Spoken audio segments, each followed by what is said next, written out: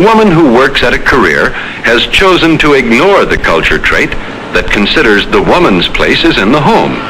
She can do this without serious repercussions. But the same culture requires that women must be married to have children. And this culture trait is too strong for her to attempt to violate. She has no choice but to conform or be subject to great criticism. A culture which permits a certain amount of flexibility makes for a more individualistic people. A culture which demands too rigid conformity tends to stifle individual initiative.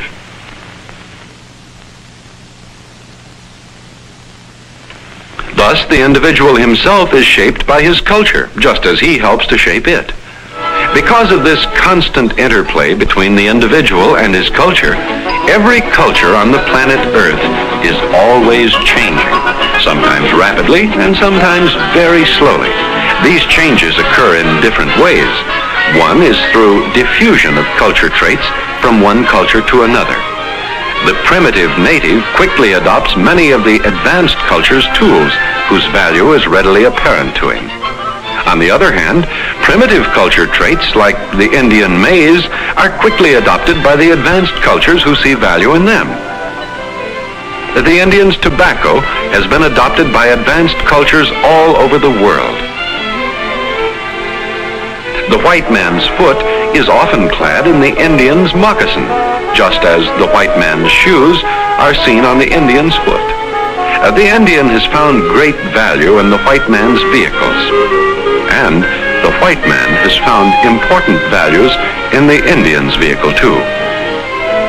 So cultures grow and change through their interaction on each other in the process called cultural diffusion. Another way in which cultures change is through invention and discovery. Every technological development brings about a greater or lesser change in the culture pattern. It can well be imagined what an infinite number of culture traits are bound up with a primary invention such as the wheel, and with a primary discovery like the use of fire. Such primary inventions and discoveries have made possible the immensely complicated developments of a technological age. An example is the vehicle called the automobile, which runs on four wheels and whose engine is driven by fire. Its introduction brought vast culture changes, especially in the country called the United States. The whole pattern of living of that nation has been changed. People are moving out of the city into suburban areas. Farmers are in closer contact with the towns. Transportation of goods has been revolutionized. These are only a few of the great number of new culture traits which have been formed around the invention of the automobile.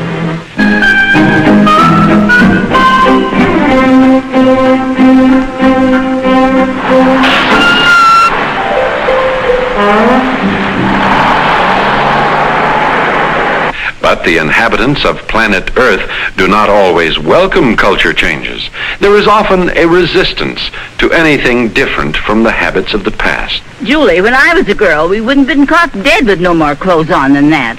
My stars, what are our young people coming to these days? Oh, Granny, everybody dresses like this. Well, I don't approve of it. Material culture traits like clothing change faster than non-material culture traits.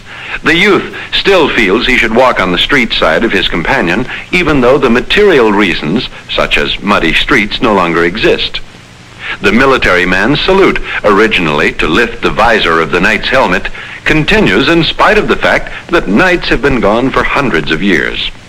But even though material culture traits change more easily than non-material, change of any kind is often opposed by vested interests.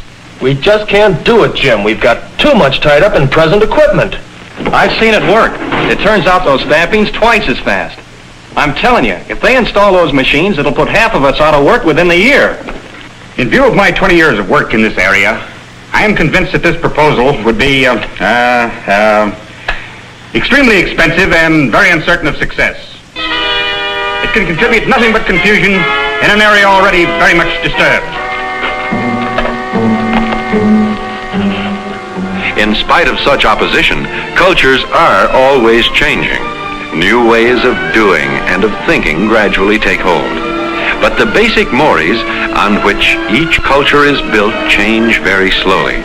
Thus, they provide a set of fairly stable, long-range goals, which all the people of a given culture seek together in their effort to live in a way which they consider satisfying. As already pointed out, there are innumerable different cultures on the planet Earth. Many encompass a very small group, involving only a tribe or a series of villages. Such tiny culture groups dot the continent which the Earth people call Africa. On the other hand, the continent called Europe is largely covered by a huge civilized culture which is spread over many parts of the Earth. But whether a culture is a tribal way of life or a great civilization, it serves its people in the same way by setting up goals for a way of life through which they can achieve personal happiness if they conform. Thus, knowing the culture of any group charts the way to a fuller understanding of the people themselves.